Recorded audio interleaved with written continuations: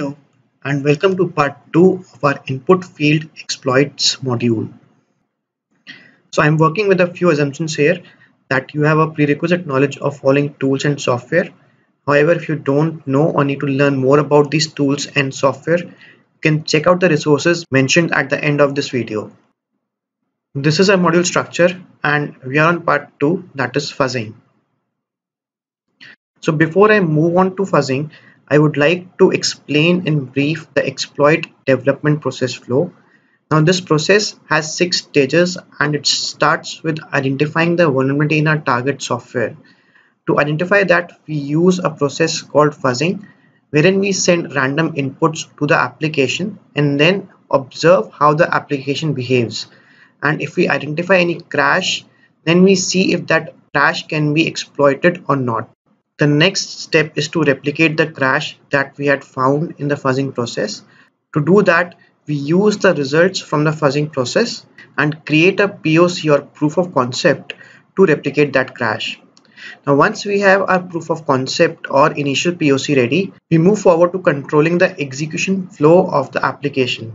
By this, I mean that we move forward to gain the control of the instruction pointer CPU register. Now once we have gained the control of EIP or the instruction pointer, we then identify any bad characters that might affect the execution of our payload shellcode. Identification of bad characters is necessary to eliminate any hex characters that might change the meaning of our shellcode and hence render it unuseful or unexecutable. Now once we have identified the bad characters, we then generate a shellcode Again, depending on your expertise, you can either use a tool such as MSF Venom or you can write a custom shellcode also. Then we integrate this shellcode into a POC and fire that POC against a target application and obtain a shell from that application. Moving on to the fuzzing process. So as I said earlier that in fuzzing we send random inputs to the application and check for any unexpected behavior of the application and then we find a way to exploit these exceptions or crashes. Now there are different types of fuzzers. They are mutation based fuzzers and generation based fuzzers.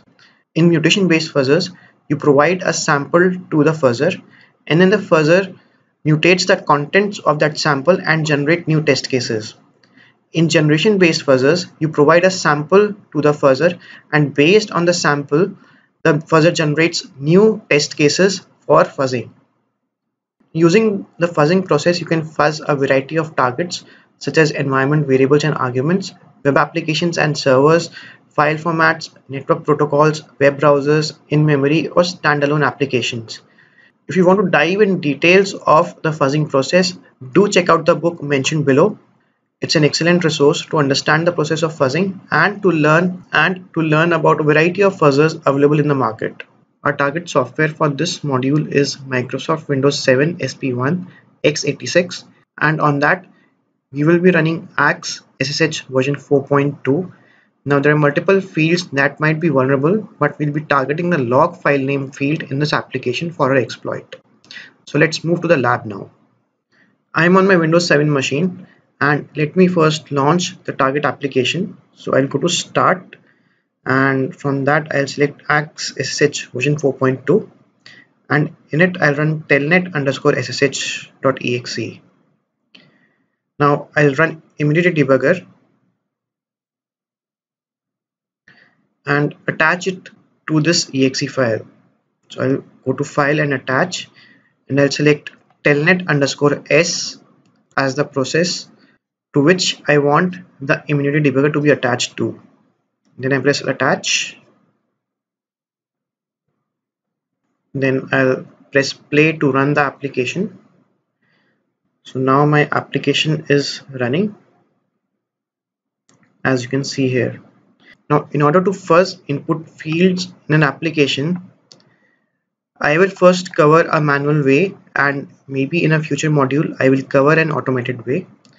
Now in order to fuzz it manually we'll need a way to generate strings of various length so that we can copy and paste it and then test it if that string generates any crash or not.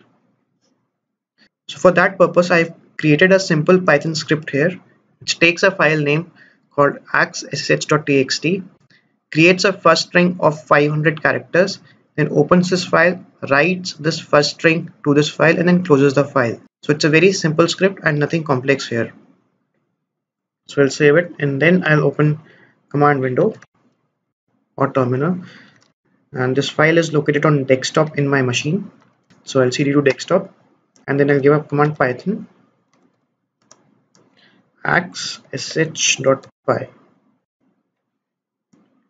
now as you'll see that this file is created on desktop so I'm opening it in Sublime Text. And uh, so this is the file that we have just created of 500 bytes now I'll copy this string of 500 A's and go to my target application now this application might contain several fields which you might want to test for crash so go ahead and test every field for a crash in this application. For a sample, I will just test two or three fields so that we'll know when a crash occurs and when it does not occur. So for example, I'll first test this port field and uh, I'll paste the string here and let's press OK. So there was no crash here.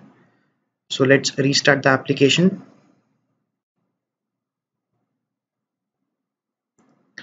run the application so now our application has started and let's fuzz this field again this time we'll send it a string of thousand characters. So we will just paste the copied string twice. One and two. And let's press ok to see if it crashes or not. So as you can see that this application has crashed on in this field. And uh, However, EIP has not been overwritten, though EBP and EDI have been overwritten. So let's see if after passing this exception to the program, does it overwrite SCH or not. To pass this exception to the program, we press Shift F9 and it says that debug program was unable to process exception. So that means this particular crash is not exploitable. So we will restart the application again and run the application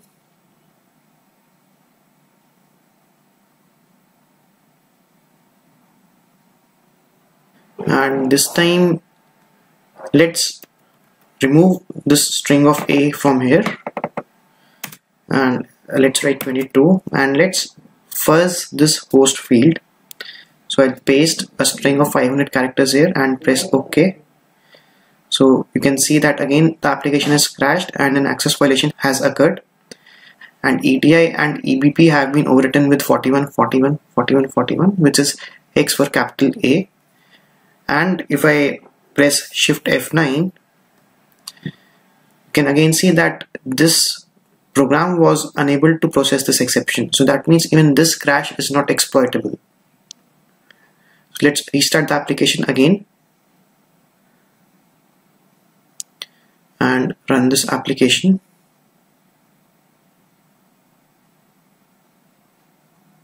Our application has restarted and our port field is filled with this string now I have tried multiple times to reset it to a port number but I have not been able to do that if you face a similar problem the workaround is to uninstall this application and install it again so that is what I'm going to do so I'm going to pause this video and I'll be back once I've reinstalled this application. So after some trial and error, I was able to reinstall this application and get it back to its previous state. If you're facing any problems after uninstalling and reinstalling the application, make sure that once you uninstall, you delete the root directory of axssh, which is located in users, public, program files, and labf.com. So once you have uninstalled the application, make sure that you delete this directory and then reinstall the application. And when you reinstall it after that, the application will revert to its previous state or the original state. In a similar way that we first these two fields, you can first other input fields for this application. Now we will move directly to the field that we know is vulnerable to an exploit. So that field is a log file name which is located in the settings portion of this application. To go to that field, press details and then press settings and go to logging tab and from here select log all sessions output. And in the log file name paste the content of your clipboard which is a string which contains 500 capital A's. Then press OK and press OK again to see if a crash has been triggered. So as you can see that a crash has triggered and this time EIP has been overwritten which is something we were looking forward to in previous crashes but we did not get. So this crash seems to be exploitable. And you can also see that on ESP it says that the string is written. So let's follow ESP in dump. And you can see that we have a portion of our string here. And if I just scroll this up a bit I can then see that there is a larger portion of the string that we had sent to this application just above ESP or just above the memory address to which ESP points. So probably we'll have to jump from this portion to the larger buffer portion but that's something we'll do in a later part. So for now let's see if we can increase this buffer length. To do that I'll restart this application and run it again.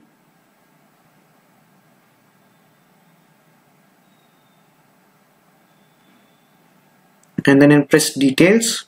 Again go to settings logging tab log all session output. And in here I'll paste the contents twice which will make my string of thousand characters. Then I press OK and then OK again.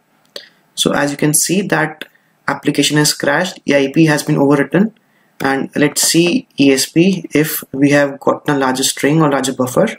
So this portion seems to be similar or the same as previous. And if I scroll up a bit so essentially there is no change here. So that means that we might face a problem of a limited buffer space and we might have to switch up our techniques from previous modules to a different one or to a different shellcode altogether. This is something we will cover in a later part. In the next part, we will create a POC to replicate this crash.